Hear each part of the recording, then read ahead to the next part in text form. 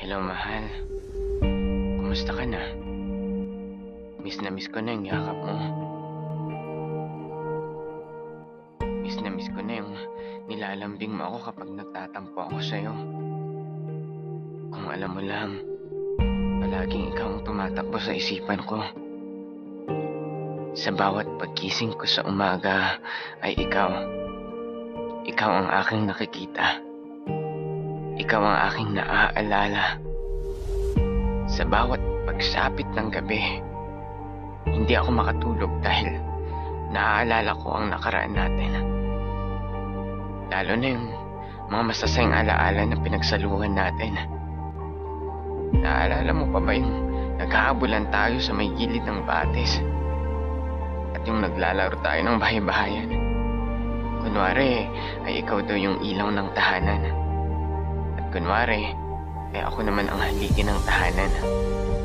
At si Brownie, yung aso mo, kunwari, siya naman yung anak natin. Nakakamiss, no? Parang kailan lang.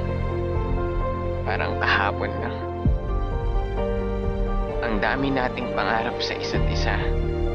Yung pangarap nating makabuo ng sarili nating pamilya. Yung dati nating nilalarong bahay-bahayan. Pangarap nating pareho yun, di ba? Yung magkaroon tayo ng sarili nating bahay.